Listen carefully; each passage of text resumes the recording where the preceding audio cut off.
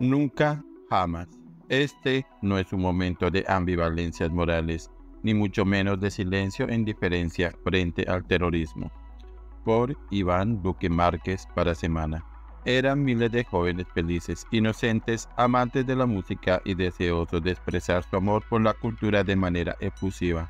De repente llegaron los estruendosos y letales misiles arrojados de manera despiadada a la multitud y las ráfagas incesantes dirigidas para aniquilar cada vida allí reunida. Muchos intentaron llegar a sus vehículos para huir de la barbarie, pero las vías estaban bloqueadas y las ráfagas se dirigieron también hacia ellos. Otros intentaron albergarse en refugios para huir del fuego, pero sus victimarios no tuvieron problema en arrojar granadas al interior de los resguardos para exterminar a sus víctimas con la explosión o con el humo. Otros recibieron tiros de gracia.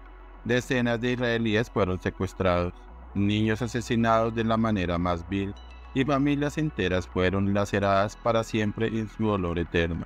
Esta fue la agresión que sufrió el pueblo de Israel en su territorio por parte de animales salvajes que militan en un grupo terrorista que, desde su fundación en 1987, aboga por la exterminación del pueblo judío y el Estado de Israel. Hamas es la encarnación de la cobardía terrorista y el enemigo principal para la búsqueda de cualquier solución pacífica a un conflicto histórico. Desde 2005, cuando Israel se retiró de la franja de Gaza, Hamas ha buscado de manera despiadada lanzar misiles hacia el pueblo de Israel y de la misma manera ha puesto a la población palestina de escudo para que cualquier respuesta militar a sus atrocidades sea el vehículo para victimizarse y deslegitimar el derecho de las naciones a defenderse de las agresiones. Hamas ha presionado a la población para que, en hospitales, escuelas y residencias, se ubiquen muchas de sus células y desde ahí mismo se ataque limitando la capacidad efectiva de respuesta. Bajo esa presión constante, Hamas se ha opuesto a la paz y saben que entre más sanguinarias sean sus acciones, más contundencia habrá en la respuesta por qué y para qué quería Hamas lanzar el tenebroso acto de terror que ha estremecido al mundo entero, porque quería sabotear la aproximación de Israel con sus vecinos y para desatar furia, venganza y rechazo hacia Israel en caso de una retaliación contra Hamas en Gaza. Esa complejidad es la que hoy, más que nunca, nos hace pensar en el reto que tiene Israel de defenderse de manera contundente y hacerlo a la luz del derecho internacional mientras sus enemigos violan todas las reglas, desde el reclutamiento de menores hasta el uso de espacios ciudadanos como centro de planificación y ejecución de actos de terror. Desde luego a Hamas no le importan la vida de sus víctimas ni mucho menos la de los inocentes palestinos. Usan el terrorismo para atacar y luego convierten la respuesta a sus trincheras, mimetizadas en la gente inocente, en una narrativa de terrorismo Estado.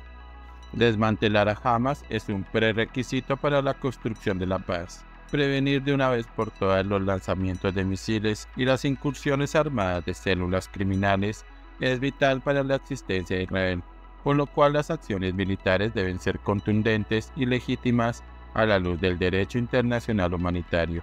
No obstante, la situación es aún más compleja.